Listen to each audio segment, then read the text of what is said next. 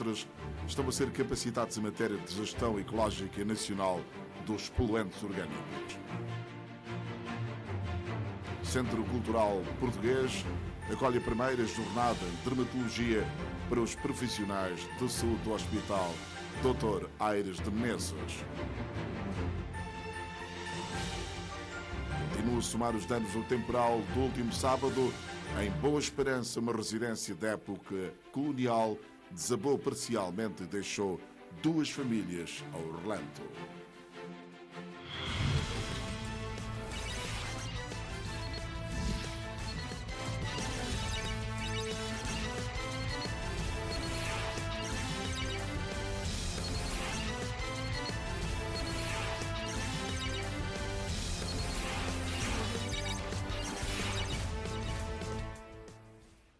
Boa noite. O presidente interino da Assembleia Nacional, Levi Nazaré, recebeu esta manhã o vice-presidente do Grupo Intergovernamental de Ação contra o Branqueamento de Capitais na África Ocidental de Giaba. Adama Colibali veio elogiar os esforços de São Tomé e Príncipe nesse domínio e estimular o reforço das medidas já adotadas.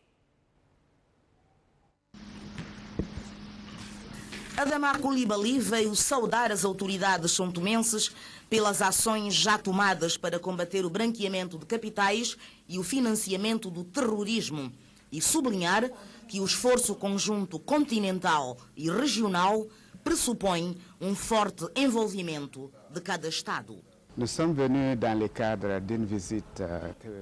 Foi uma visita que classificamos como sendo de alto nível para encontrar as altas autoridades de São Tomé e Príncipe, bem como os autores fundamentais no domínio em questão. Viemos manifestar às altas autoridades são tomenses a nossa gratidão e reconhecimento por todos os esforços desenvolvidos no quadro da luta contra o branqueamento de capitais e o financiamento do terrorismo bem como para a tomada de decisões vigorosas, nomeadamente a adoção de certas leis e regulamentos que permitam o reforço do quadro jurídico e legislativo. A luta contra o branqueamento de capitais e o financiamento do terrorismo é um desafio conjunto, afirmou Adama Coulibaly. Les défis nouveaux à venir, nous devrions les affronter ensemble. Os desafios que nos aguardam devem ser enfrentados de forma conjunta. Definimos com o presidente do Parlamento São Tomense quais são esses desafios, que não se confinam ao domínio legislativo, mas envolvem igualmente a capacidade de se fazer prova da eficácia dos dispositivos legais e legislativos. Daí a necessidade de adotar mecanismos complementares que permitam a cada Estado fazer essa prova de eficácia. Definir des mécanismes complémentaires pour permettre au pays d'apporter la preuve de l'efficacité. Presidente interino da Assembleia Nacional recebe vice-presidente do organismo regional de luta contra o branqueamento de capitais e o financiamento do terrorismo. Continua a somar os danos do temporal do último sábado na localidade de Boa Esperança, no distrito de Lobata, uma residência da época colonial, desabou parcialmente e deixou duas famílias ao relento. Felizmente, não houve vítimas. O vendaval do último sábado não poupou nem as plantações em Boa Esperança, localidade do distrito de Lobata. As rajadas de vento que se fizeram sentir no referido dia levou consigo o teto desta residência da época colonial e deixou-a destruída parcialmente e com isto duas famílias ficaram ao relento. E calhou que foi no dia 1, eu tentei entrar em muito contato com principalmente Câmara, também não estava a aceder. Depois mais tarde eles vieram a aceder quem estava no Rádio Lobata disse que não acredita porque foi no dia 1, que é o dia de mentira. E então eu por acaso estou aqui nesse momento. Meu pai tinha que aceder um espaço que eu tinha, como uma casa de trabalhador pequenina. E para a família que eu tenho, eu sinto que, de qualquer forma, quando a gente está mal, a gente tem que ocupar o espaço que tem. E lá que eu estou a morar, então, com todas essas crianças até agora. Que Tua tenho, família de quantas pessoas? Eu tenho cinco, fam cinco famílias. Quantos filhos? e tem, tem três com mulher e comigo. Estamos lá a morar. E até então que é para ver qual é a perspectiva que possa aparecer. E quando isso aconteceu, as crianças também não, não estiveram As crianças não estavam. O senhor Lucrécio, que perdeu parte das suas plantações no temporal de sábado, pediu apoio do governo. A única forma que eu vi é recorrer ao governo para pedir apoio para essa, essa comunidade, visto que própria área cacauzal, área bananal que as pessoas têm aqui, tudo foram devastados por, por venteval. E é uma calamidade para esta comunidade e a única coisa que eu vi é recorrer a outras entidades, pedir alguns apoios que podem nos apoiar na reabilitação de casa e dar-nos algum apoio financeiro para poder ver se a gente consegue recuperar as áreas que foram devastadas pelo vento. É isso mais ou menos que tenho a dizer e se a pessoa de boa vontade, quer o governo, quer outras pessoas, para nos ajudar aqui nesta comunidade, ajudar-nos primeiro a a, na construção de duas, duas pessoas que, por bem dizer, que não têm habitação. Eh, tem que vir em casa do, de, de, outros, de outros colegas, tem que abrigar as crianças, cada um dorme do seu lado, porque até haver, porque não tem como fazer. E como sabe, a agricultura é uma pessoa descapitalizada e ainda nesta época que não há cacau.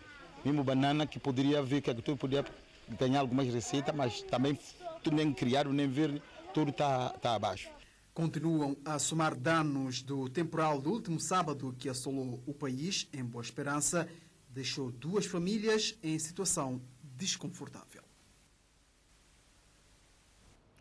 Os restos mortais da escuteira da paróquia da CE, Severina Madalena da Costa Crevido, de 15 anos, faleceu ontem, vítima de traumatismo craniofacial, foram levados a enterrar esta manhã no cemitério do Alto São João.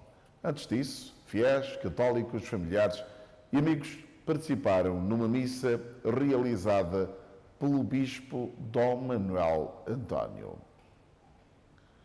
Já ontem, a Igreja acolheu uma Eucaristia co-celebrada pelo Bispo da Diocese e os parcos uh, locais, uh, pelos, uh, pelas vítimas do acidente, queria dizer, que envolveu os escuteiros da referida Igreja, dezenas de fiéis católicos, familiares e amigos das vítimas participaram no ato.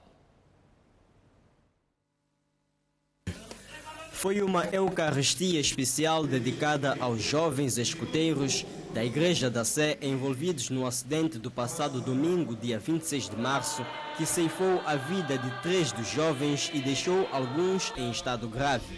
Perante a igreja cheia com familiares das vítimas, amigos e demais cristãos, o bispo recordou que a morte, apesar de ser um choque, ela existe. Portanto, a morte é sempre qualquer coisa que, que choca contra o projeto de vida do homem.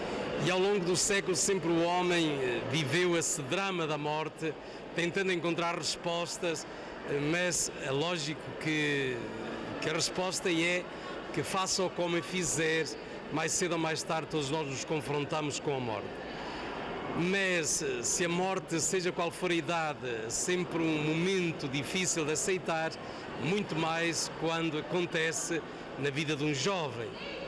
É quando uma pessoa parte demasiado cedo. E, sobretudo, se acontece, como este caso, até por causa de um acidente.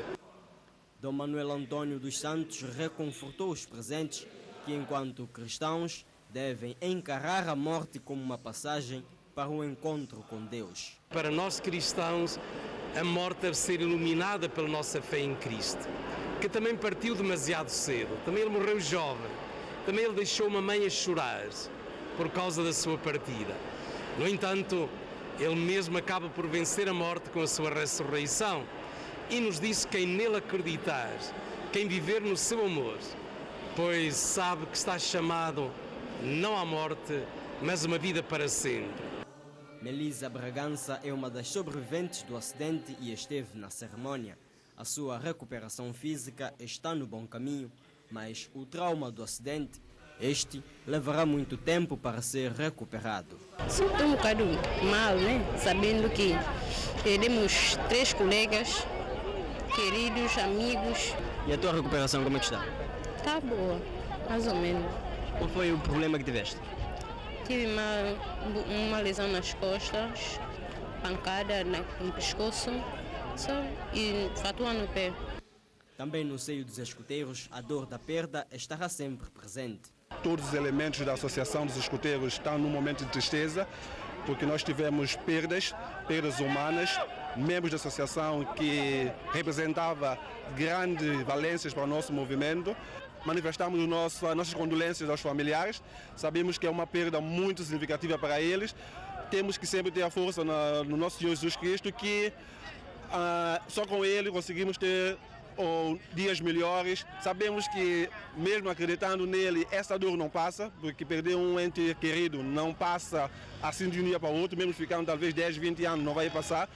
Diocese da Igreja Católica celebra a Eucaristia especial pelas vítimas do acidente que envolveu os escuteiros da Igreja da Sé Catedral. Bispo e párocos locais na Eucaristia na Sé Catedral pela homenagem vítima Severina da Costa Cravido.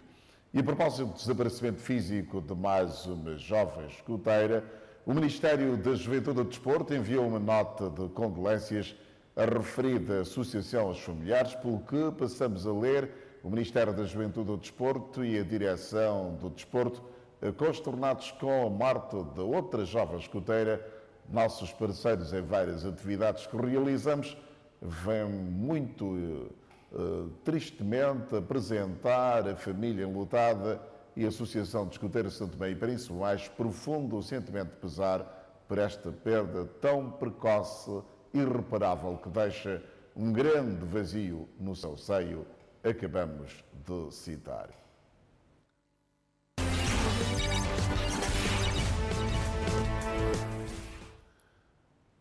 O número de vítimas do deslizamento de terras no sul da Colômbia continua a aumentar